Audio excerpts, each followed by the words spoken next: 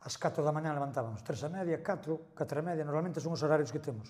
E nada, é levantarse, ir para o barco, e salíamos, e, chegar hasta onde tiñamos o aparello, recoller o aparello, preparalo, despois había que outra vez e viñamos para Puerto, preparábamos o aparello, volvíamos a salir a tirar o aparello outra vez ao mar. Por eso que nos levantábamos ás 4 da mañán e cando traballábamos a un oficio que chamaban o miño, que daquela traballábamos o miño, que é un oficio que colle languado, rodaballo, eh, centola, eso todo.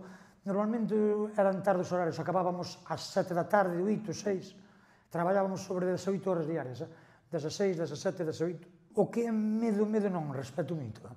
Respeto, levo xa 34 anos traballando nela, xa lle tendo moito, moito respeto. Sí, porque o mar é unha cousa moi peligrosa. O mar, o mar o que, como dixemos nós, o que quere valientes eh, como teñas un descuido ou como teñas calquer cousa, chega chabondo para se cadrar un contalo. Eh? O máis duro que se me fixo de todo de todo foi marchar e deixar un fillo de 11 meses. Eso sí que me desgarrou o corazón. E mentes que non lo vei para lá, choraba día e noite. Non, non podía non podía aceptar estar traballando, eh, tiño home evidentemente que estaba comigo e apoiábame, pero faltábame algo.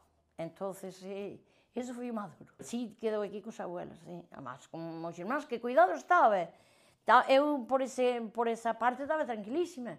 Pero o que pasa que non estaba comigo, non o tiña eu comigo, entendes? O rapaz eh, foi para ali, eh, touche dicindo, mira, eu marchei eh, no, o 28 de marzo do 66. E eh, el foi para lá, eh, pois mira, tiñache cinco niños.